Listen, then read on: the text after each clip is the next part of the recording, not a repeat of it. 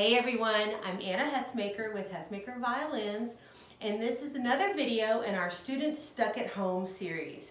So whether you're having a snow day or whether you're smack dab in the middle of two weeks of digital learning, these are little videos to help the orchestra kids learn something. We want you to go back to school with a little bit more knowledge. Today we're going to talk about something really, really, really cool. Do you know what this is? This, my friends, is ebony. Actually an ebony log, and I wish you could reach through the video camera and feel it. It is so heavy. Ebony is an amazingly dense wood. So if I took a piece of ebony and threw it into some water, a lake, a stream, a bathtub, it would sink to the bottom. It's really, really strong. It's really, really dense. And as you can see from this, it is actually this color, this dark black color. It naturally grows that way. So we have ebony on our string instruments, we have it on our bows, we use it for a lot of things. And why is ebony perfect for our uses? It's perfect because, remember I talked about how dense and strong it is?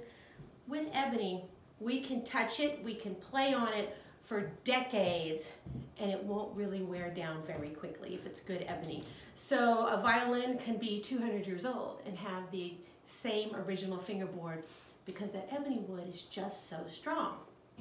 So I just mentioned fingerboards.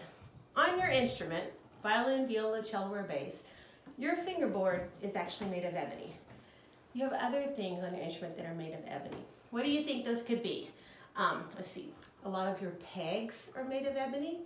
Sometimes your tailpiece will be made of ebony. I'm missing one right here. Sometimes your chin rests will be made of ebony, near your end button. And of course, on a violin bow, the frog is made of ebony where we hold it with our hands. Now, ebony is actually an endangered wood, so we're seeing more and more alternative sources.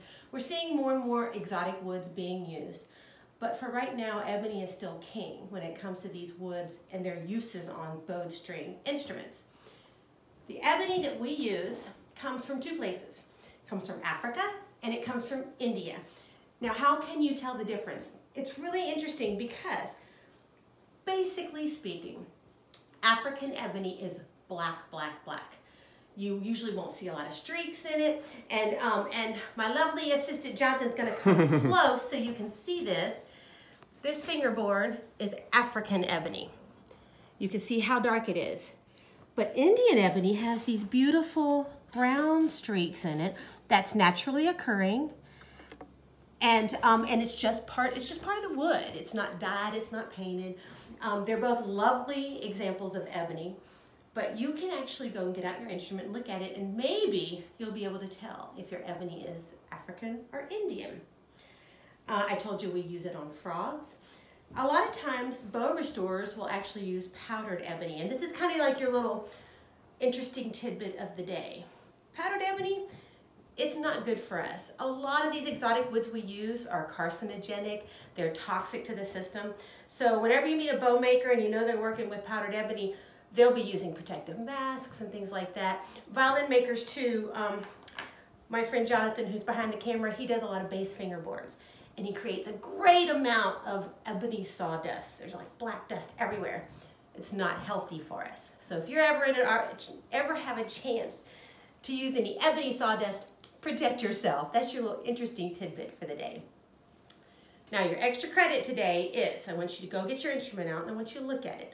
I want you to see if you can tell if your ebony is Indian or African. And um, I want you to look at your pegs and your chin rest. Maybe your chin rest is plastic. Maybe it's not ebony.